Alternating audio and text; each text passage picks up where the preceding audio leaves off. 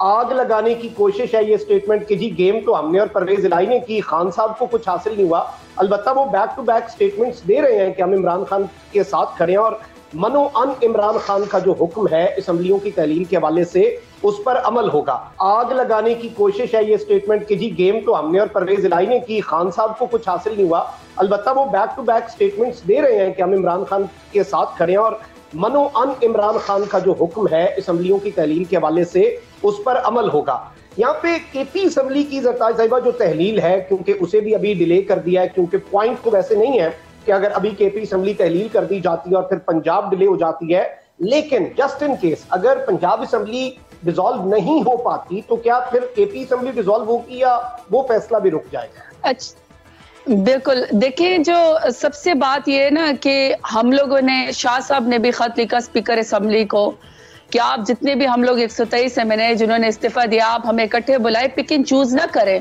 क्योंकि pick and choose में पहले भी ये चौदह हुकूमती जमात जो है, ये शर्मिंदा हो चुकी है। इन्होंने अपनी मर्ज़ी के हल्के चुने। जिधर खान साहब ने इनको चौदह जमातों के इकट्ठे मिलकर इनका वोट भी हमसे ज़्यादा था, और वो हमने बड़े कम मार्जिन से 2018 के इलेक्शन में वो हल्के जीते थे। इसके बावजूद इन्होंने पिक एंड चूज़ किया और हमने इनको बदतरीन शिकस्त दी ये आवाम में जाने के काबिल नहीं है। तो हमने उनको भी यही कहा कि एक सौ तेईस आप तमाम एम को इकट्ठे बुलाएँ और हम आपको आके इस्तीफे देने को तैयार है। पिक एंड चूज़ ये चेरी पिकिंग नहीं होगी कि आप अपनी मर्ज़ी के ड्रामे यहाँ पे करते फिरे। अगर एक पार्टी कह रही कि हमने ऐवान में से निकलना है क्योंकि हम इस ऐवान को मानते ही नहीं है। ये ऐवान लिजिटिमेट ही नहीं है। ये ऐवान अवाम के इकतदार से नहीं आई है वोट के ज़रिए नहीं आई है जमीर फरोशी करके आया है। ये जो है सिंध हाउस के अंदर बकरा मंडी मेला मवेशिया लगाने से आया है। पचास पचास करोड़ की कीमत इनकी लगी है। तब जाके इन्होंने सिंध के अवाम के पैसे जो है जो डेवलपमेंट पे लगने थे वो वहाँ पे बजाय इधर इन्होंने जमीर फरोशी करके लगाया है। वहाँ पे ये चाहते हैं हर वो तरीका चाहते हैं कि किसी तरीके से कोई वो तरीका कर दिया जाए कि किसी तरीके से खान साहब की पॉपुलैरिटी में कोई कमी आ जाए जो कि नहीं आनी है। क्योंकि वही बात है कि अवाम अब सच को पहचानती है बाशूर लोग है। वहाँ पे इनके कुछ तर्जमान है। अच्छा तर्जमानों को मैं क्या नाम दू? कोई जो है वो बूट पॉलिश करके आया हुआ है? कोई मरियम बाजी का बैग उठाकर आया हुआ है? कोई जो है किसी का दादा जो था, वो नोटों के बैग लेकर, इनके लिए जमीर फरोशी जजों को खरीदा करता था? कोई जो है वो आइन की पामाली के ज़रिए आया? कोई जित कितना शाह के वफादार? हर वो बंदा बजाय इसके कि अपनी आठ महीने की कारकर्दगी बताए कि हमने इस मुल्क के साथ किया क्या है और मिनिस्टर्स की कारकर्दगी क्या है?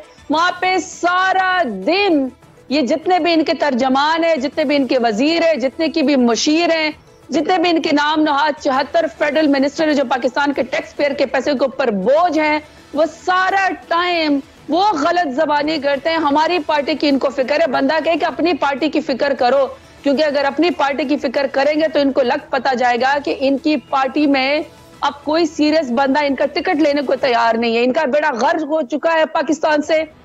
पंजाब में इसको अब सीरियस कोई कैंडिडेट नहीं मिलेगा। हर हरबा भी इस्तेमाल कर ले अवाम इनके पजराई खत्म हो चुकी है। तो बजाय इसके कि हमारी सफरों के ऊपर गौर करें, हमारे इलाज के ऊपर गौर करें, अपनी सफरों के ऊपर गौर करें, क्योंकि जो इनके वज़ीर खारजा, जो एक अरब बहत्तर करोड़ पैसे लगा के पाकिस्तान से बाहर सैरे करते फिर रहे हैं उन्होंने वहाँ जाके कॉन्फ्रेंस में कहा कि हम तो रशिया से तेल नहीं खरीद रहे हैं सस्ता।